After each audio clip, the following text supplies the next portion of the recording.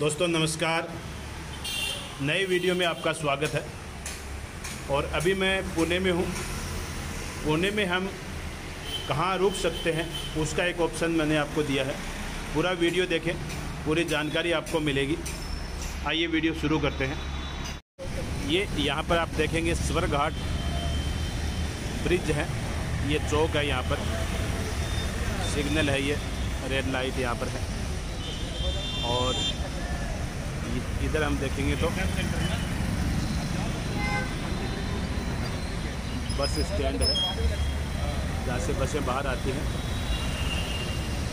और ये पूरा यहाँ का है तो हमें, अब आप देख लीजिए लोकेशन हमें इधर चलना है, इस गली में, इस रोड पे।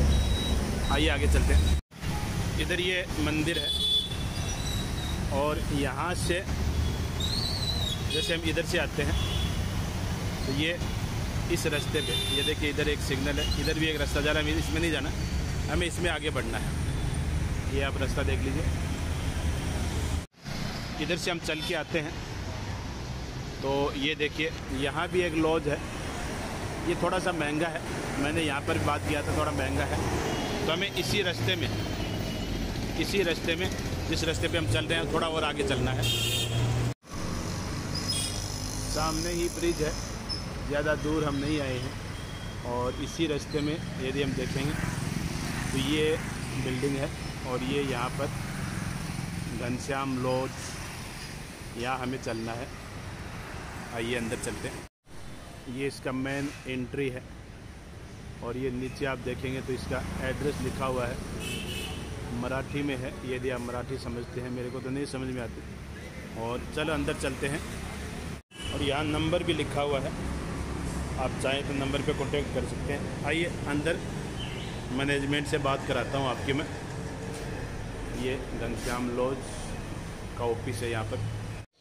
ये ऑफ़िस है इनका और ये आपको मैडम यहाँ पे मिल जाती हैं। आप कभी भी आते हैं तो, तो आप इनसे अपना रजिस्ट्रेशन करवा के और रुक सकते हैं यहाँ पर। और ये यहाँ का कुछ दिशा निर्देश दे रखे हैं।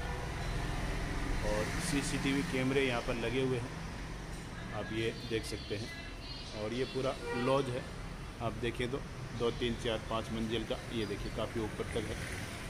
और काफ़ी सारे कमरे यहाँ पर हैं। ये पूरा हिसाब किताब यहाँ का है, नीचे का।